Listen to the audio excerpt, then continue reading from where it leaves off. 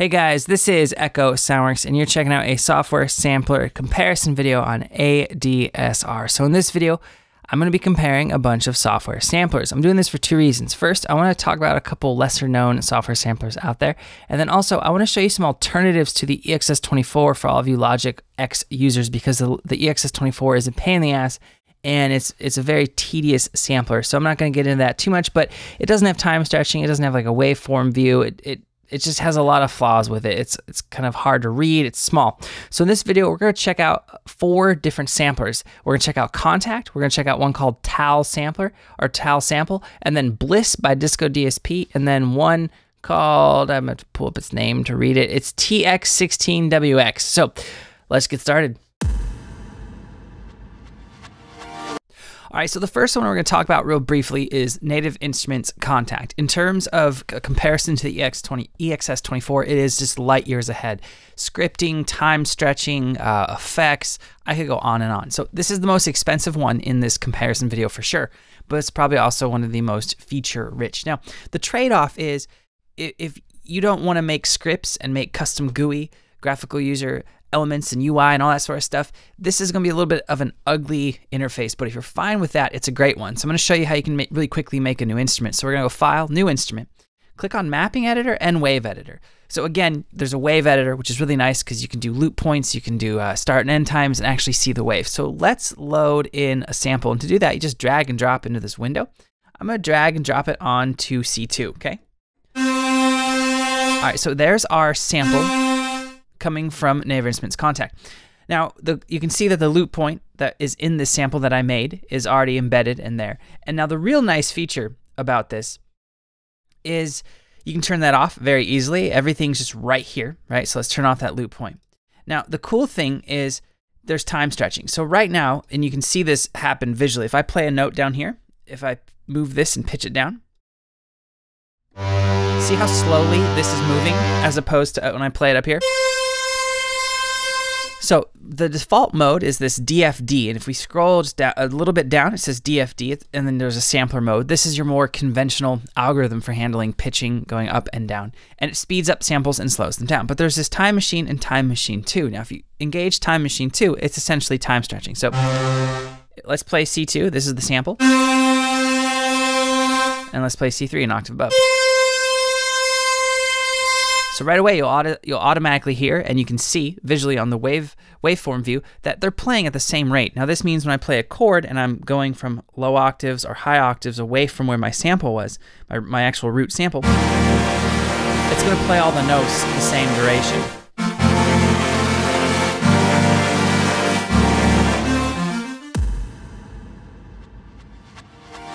All right, so what you're looking at is the Tal sampler. It's made by Togu Audioline, and it is about 60 bucks.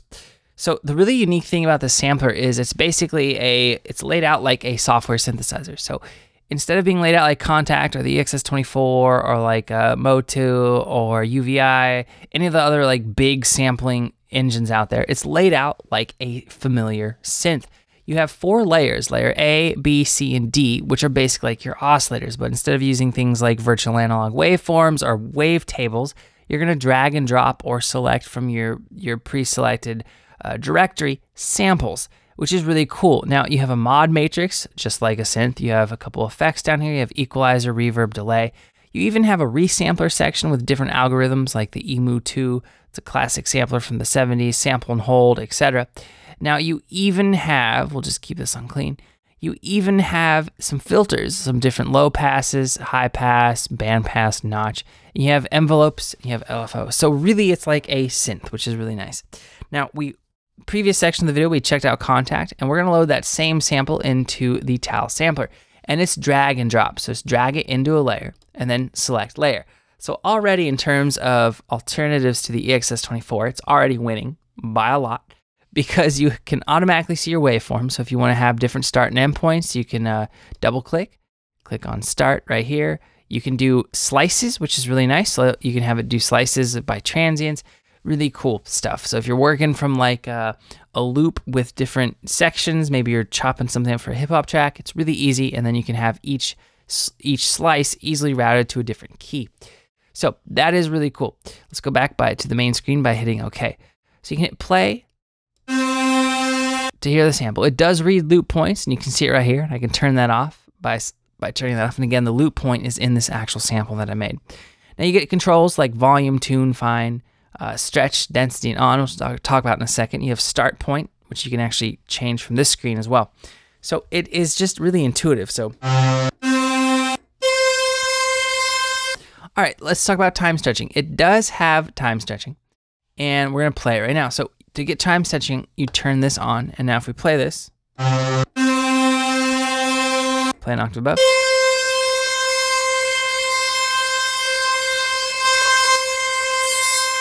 Right, so let's change this to linear, and let's try it again. There's the actual root sample, and then an octave above. Let's go back to Kontakt, and we're gonna do the same thing. Again, we're in Time Machine 2 with this. And then an octave above. Let's go back to Tal.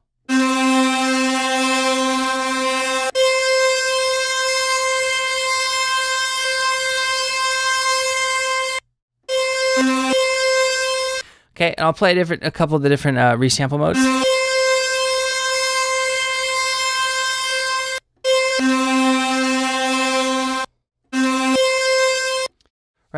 Now, what we're hearing, if I turn up the hiss, you, you saturation, that sort of stuff, you're hearing a little bit more of like an artifact, uh, kind of like a glitchiness to the sound, but it's still slight.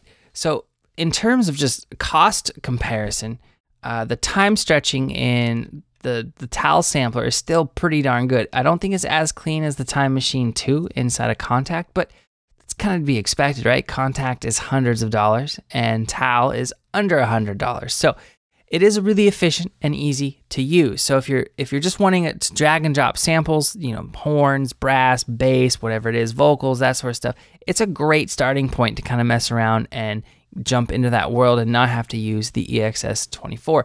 Now let's turn on some of the effects real quick. So uh, let's turn on the uh, filter. Let's turn on reverb. And let's turn on some delay.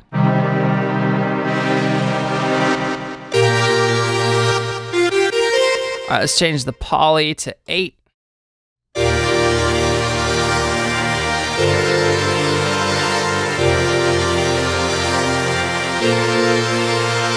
All right, so as you can hear, it's quite easy to get going. You have things like glide, portamento, really easy to dial that stuff in. So let's go to layer B. Let's turn off layer A. Let's go to layer B. And I'm going to drag and drop a guitar loop in. That's at 150 beats per minute. So let's play this real quick. Let's turn this on.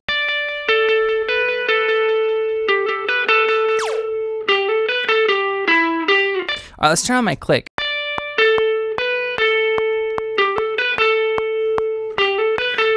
Right now, this specific sample was created at 150 BPM. That's what my uh, session's at, so it makes sense that it's playing in time with it. Well, let's actually change the tuning though. Let's say we want to go down just a few steps.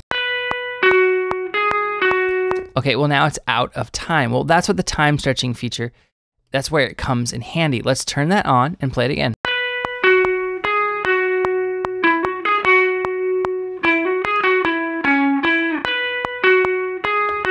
Now it's not going to let you pitch shift, uh, you know, tune it like a whole octave above without having the sound change quite drastically.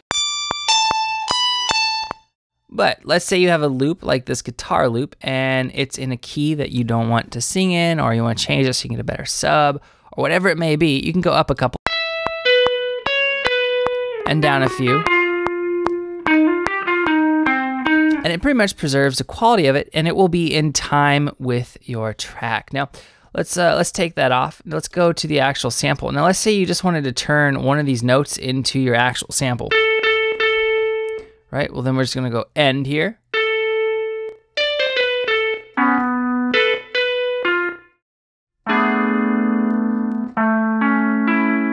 Really, really cool stuff. I can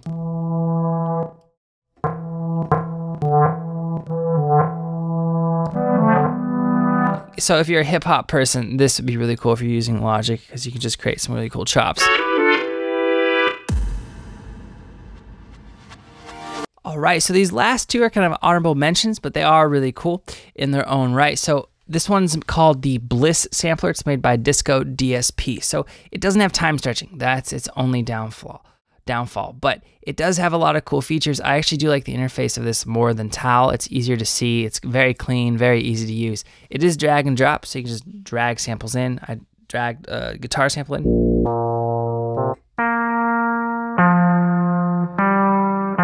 right? You can edit it. You can actually see what's going on. You can.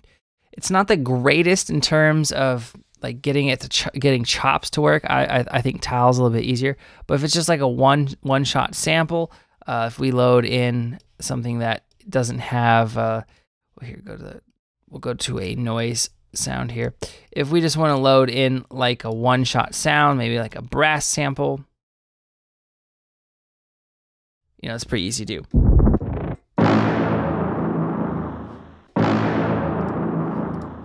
right? We can get back to the main screen from here. Things like glide.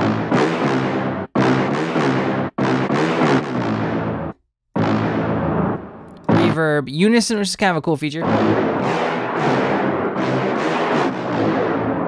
Right, but it doesn't have time stretching and it's, it's a little bit hard to edit chops, uh, loops, and that sort of stuff, but you can do it and it is i think it's still cooler than the exs24 just because it's easier to use and i'll have a link for this in the description now the final little honorable mention here is tx16wx made by cwitec swittech quittech inc i'm not sure anyway it's completely free there is a paid version you can buy but this is like it's kind of like a, a more polished version of the exs24 in my opinion so uh, you have a keyboard map that you can just drag and drop samples to. That's why I got this here.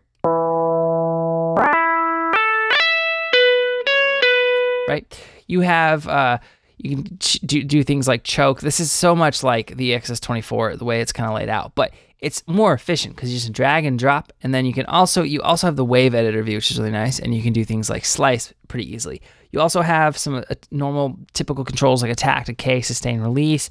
You have some different filters, some different effects, that sort of stuff.